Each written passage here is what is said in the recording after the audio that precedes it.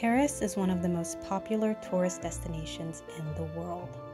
Its iconic monuments, museums, gardens, restaurants, and cafes attract millions of visitors every year. France is also home to almost 7 million immigrants.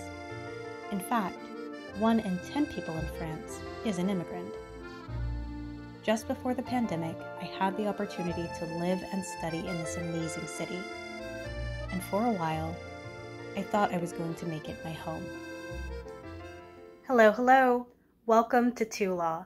My name is Alexus McNally. I'm a Haitian American human rights lawyer.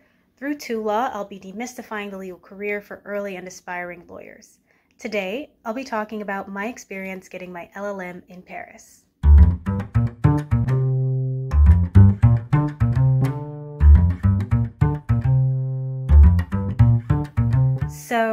I went to Indiana University knowing that I wanted to take advantage of as many opportunities that the school had to offer. And I did pretty much every single international opportunity that I could. During my first summer, I traveled to Buenos Aires and I worked at a law firm there as part of a fellowship program that Indiana University offered.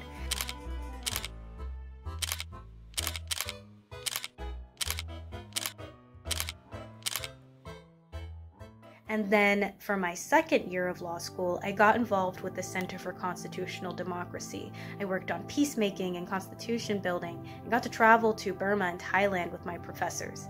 And then, during my third year of law school, for my entire 3L year, I went abroad and got my Master's of Law at Paris 2. And so in 2020, I was able to graduate with both my LLM and my Juris Doctor um, from Paris 2 and Indiana University. I didn't always think I'd spend my third year of law school in Paris. Indiana University had several other options that I could have chosen from. Initially, I wanted to go to Trinity College Dublin, but the fees for that program were way too expensive, and it was more cost effective for me to study in Paris. Another reason why I found Paris to be more attractive was that I was already a bit familiar with it. I had studied abroad in Newcastle upon Tyne while I was in undergrad, and two of my roommates were French. I had visited France a couple of times, and I felt like I already kind of had the lay of the land. And then there was this opportunity to finally get my French together. I have been teaching myself French since I took a few courses in high school, and I was excited for the opportunity to immerse myself in the French language and solidify my French speaking skills. The program offered in Paris in English was a Master's in European Union Law. The classes were really meant to give students the opportunity to understand the European Union legal system and governing institutions.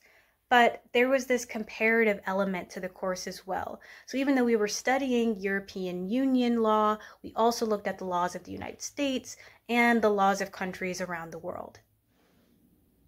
The program had a fixed list of courses. My favorites included environmental law, human rights, and employment law. There was also this opportunity for me to swap out one of my courses for an independent research study. And so I did an independent research paper on the rights of persons with disabilities in Europe in relation to the labor sector. One thing that I thought was really cool was that the university also offered free French courses. This was great for students wanting the opportunity to practice and develop their skills in a classroom setting.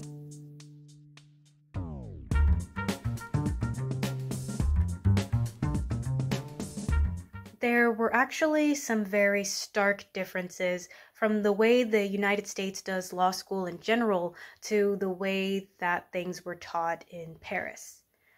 First, everything was pretty much lecture based the notion of a classroom discussion was just not a thing for most of my professors.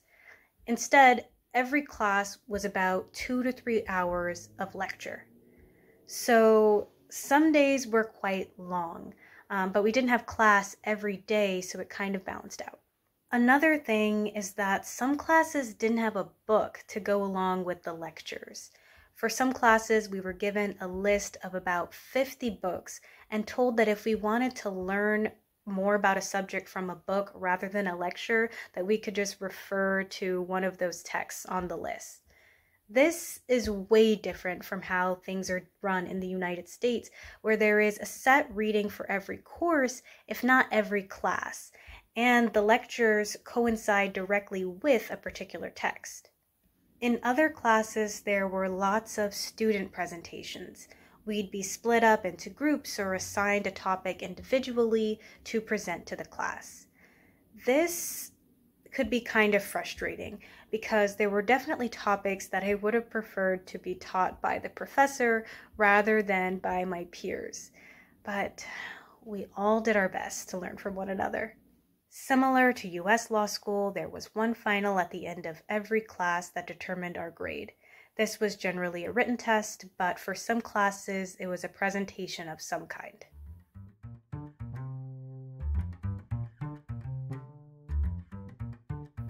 There were about 15 of us on the program, and we actually came to become kind of close.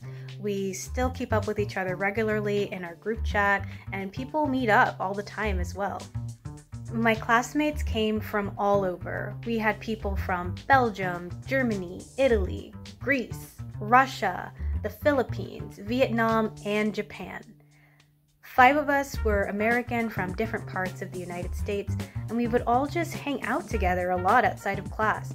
We went on trips, we got dinner, we did yoga and karaoke, we saw plays. We, we actually just had a really good time.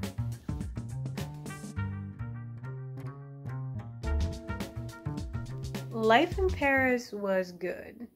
I lived in this studio apartment in this really cute area of Paris called Le Marais. There was really great shopping and restaurants nearby. I actually stumbled upon my apartment by accident and had no idea at the time that I was in this highly sought after district. So when I first got to Paris in September, I was getting around by metro. But after a few weeks, the metro system was essentially shut down for basically the rest of the time that I was in Paris because there was this massive public transit strike.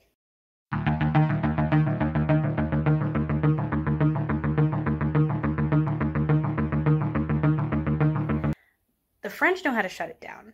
I actually really admire this kind of organizing. If Americans were as organized as the French, we would probably have a livable minimum wage and a better, more accessible, more affordable healthcare system. But yeah, after the strike started, and basically for the rest of my time in Paris, I could not consistently use the metro to get around. So I basically walked everywhere which was perfectly fine because I was in Paris.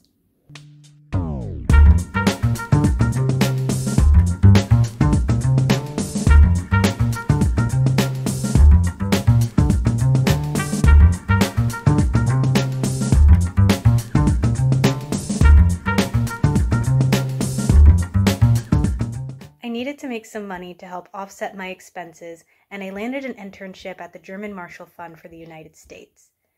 Another one of the great things about France is that there is no such thing as an unpaid internship.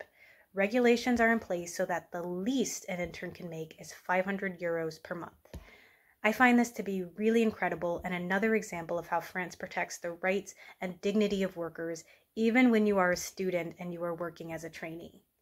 The German Marshall Fund is a think tank that strives to build and defend democracy and strengthen the relationship between the United States and Europe.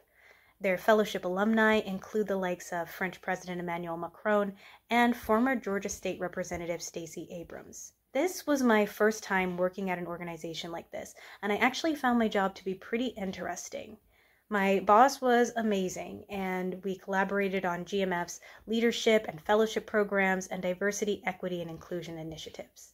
Also, during this time, I was interning unpaid at the US State Department.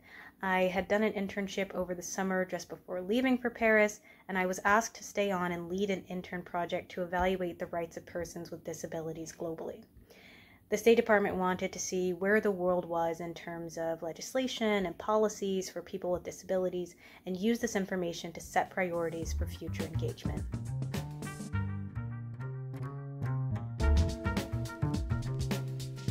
From Paris, it's also really easy to travel around the rest of Europe. I was able to go to Italy and visit a friend in Verona in my first semester.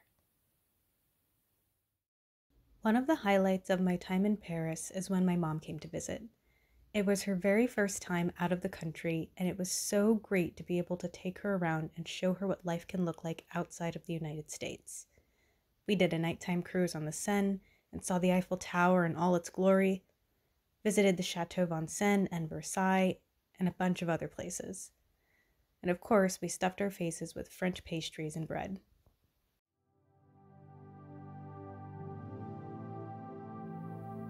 My time in Paris came to a close though in March 2020. Can you guess what happened? That's right.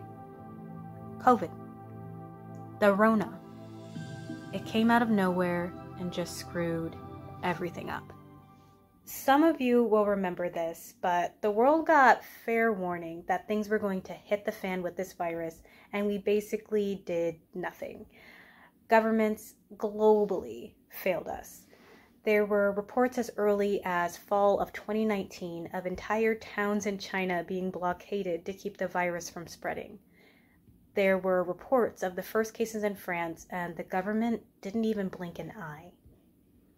And then it was like overnight chaos, absolute chaos.